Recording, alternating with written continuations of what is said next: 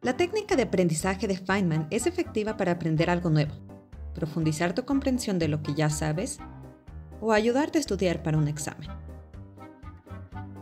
El primer paso es elegir un tema que desees comprender y comenzar a estudiarlo. Una vez que sepas de qué se trata, toma un papel y escribe del tema como si le estuvieras enseñando la idea a otra persona.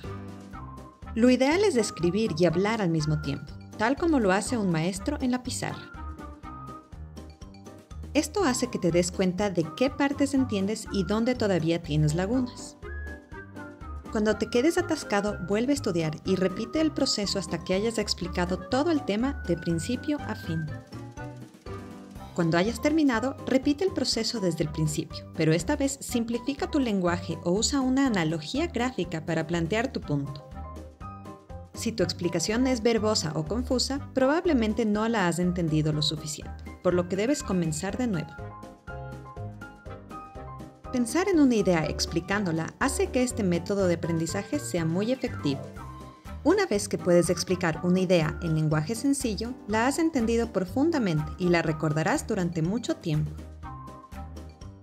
Richard Feynman fue un destacado físico teórico quien recibió un premio Nobel por su trabajo en electrodinámica cuántica. Era conocido por pedirles a sus compañeros matemáticos que explicaran conceptos en un lenguaje sencillo para evaluar su comprensión.